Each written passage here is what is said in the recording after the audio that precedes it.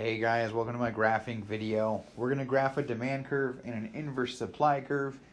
If you don't know the difference between a demand curve or an inverse demand curve, or the difference between a supply curve or an inverse supply curve, I did just make a couple of videos to show how to invert them. They tell the same information. The difference is, is that one of them is Q as a function of P. That's when you get an actual demand or supply curve. And the other is P as a function of Q and that's when you have inverse curves. That's pretty small stuff compared to what we're doing right now, though. We're going to graph these. And this graph should look pretty familiar at first. Q on that axis, P on this axis. There's a demand curve. There's a supply curve. Now, I'm not going to get all artsy and try to get the exact slopes right or anything. I want to populate this thing with numbers. And if your teacher is picky about art, you can worry about the slopes and stuff on your own. So mostly in order to make sure that this graph's right, I need to know this intercept, this intercept, and this intercept.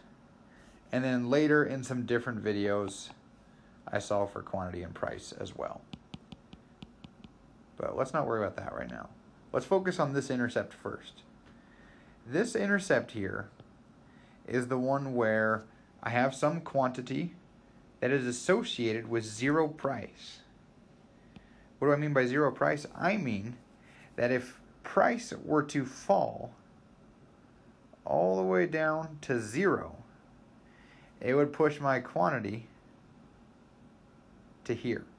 This is the quantity that is linked to zero dollars for the good. This is how much we would pick up from the store if it was free. And so to do that, I'm going to take my demand curve and set P equal to zero. Let's see. Q equals 100 minus 4P. Substitute that thing and make it equal to 0. Q equals 100 minus 4 times 0 equals 100. The intercept here is 100. Okay, next step. I want to get the vertical intercept for my demand curve and I will do it by setting q equal to 0.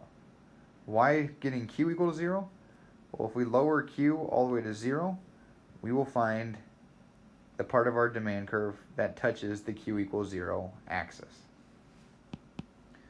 So let's solve for that next. I want to get 100 minus 4p equals 0.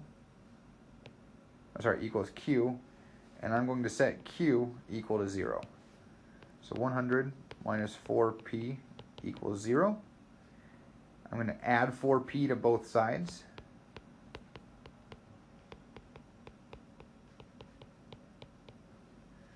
And I'm going to watch as those beauties cancel out. 100 equals 4P. Divide both sides by 4. P equals 25. There it is. So that is how you could graph a demand curve. Uh, just solve for the intercepts and you'll be fine. Now, to graph the supply curve, I'm going to do something very similar but with the other graph. I want to find the intercept of this thing on the vertical axis.